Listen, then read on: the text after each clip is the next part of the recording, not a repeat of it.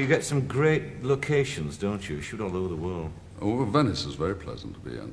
We, and uh, our, we had, you know, to get permission to shoot in Venice is very difficult because the whole place is sinking.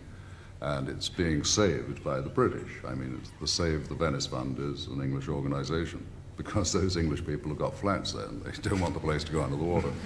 and, and because they'd um, been so nice to us in getting permits, Cubby Broccoli, you know, when he says do something, I do it because he is the producer and, uh, and I'm a very obedient actor. Mm-hmm. And he said, You've got to go to a cocktail party tonight for the Save the Venice Fund.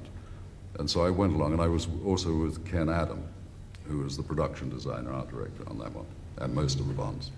And he is Teutonic, and he loves somebody else to be the butt of humor, not him, you know. So and he always likes to take the mickey out of me. And so I'm standing there, and a lady with white hair came up, and she said, What are you doing in Venice? and I said, We're, we're making a, a film. Oh, a film? What sort of film? and I said, Well, it's a, it's a 007, a James Bond film.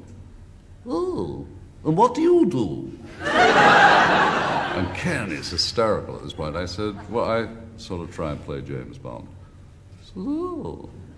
Yes. So you'll be very good. I knew Ian Fleming. are they as much fun to make, those Bond movies, as they are to watch? I mean, uh, and also, are they dangerous? I mean, because you do your own stunt work, don't you?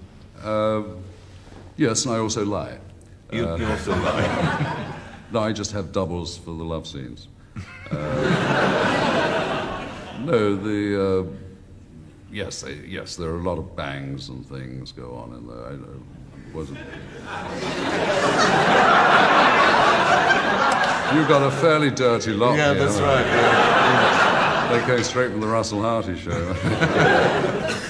no, what, what, were we talking about? You were talking about the experiences working on the Bond, about them being fun, or in fact accidents. Oh, accidents, yeah. Mm. Well, uh, on Spy Who Loved Me, they, I was sitting in a chair like this with. Um, Kurt Jurgens down the other end of the table, Mr. Stromberg, and he's got a tube underneath the table in which he is putting something in which is going to fire down at me, and which he does. And ch- I'm supposed to get out of the chair, and the chair explodes. Well, they exploded the chair before I got out of it. and most, you know, where most of us have one, I've got three or four holes, uh, has been very difficult life. You know, I have to take a lease on a whole public lavatory. but talking about the ladies that you...